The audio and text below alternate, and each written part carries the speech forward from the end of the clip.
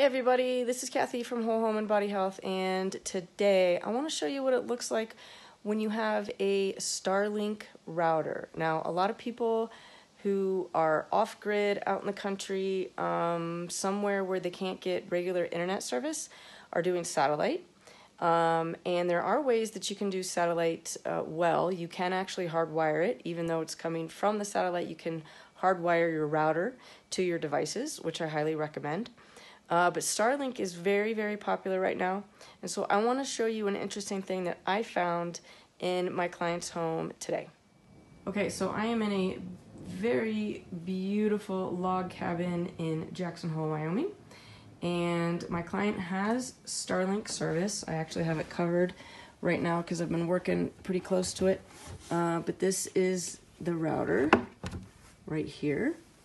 And then this is what I found as far as the dirty electricity from the router. Now, um, I had to go through a series of um, trial and error to figure out where this was coming from, but I narrowed it down to the router. So I'm going to unplug the router and we're going to see what I get. So I got to get behind that couch to get it unplugged, so hang tight. There you are. So clearly coming from the router itself, and that was very extremely high levels of dirty electricity. This is what we want our sine wave to look like. I don't like that spiking that I'm seeing there, uh, but I'm going to deal with that separately. Um, so clearly a huge EMF issue here with the Starlink router, not only from the radio frequency, but also from the dirty electricity. So I am going to put a filter next to the router and see if that does anything. So let's plug it back in. Wow, and there it is. Um, so I've got three volts, and that looks really ugly.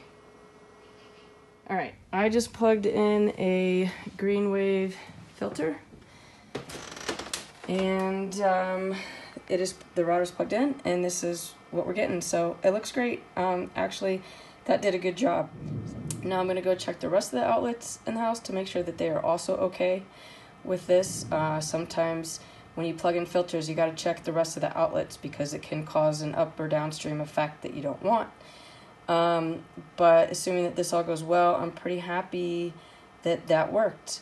Um, so the next thing that we're going to do is we are working on actually hardwiring the um, the internet. So even though it has to come in from radio frequency with Starlink because that's the only option they give you, we are actually going to use some Netgear adapters to get an Ethernet cord to our devices so that we and then keep the router covered with shielding cloth so that we can reduce our radio frequency. All right, and that's it. So hope you guys found that helpful. Uh, any questions, comments, concerns, as always, please leave them below. I'm happy to talk with you guys and we'll see you next time. Bye.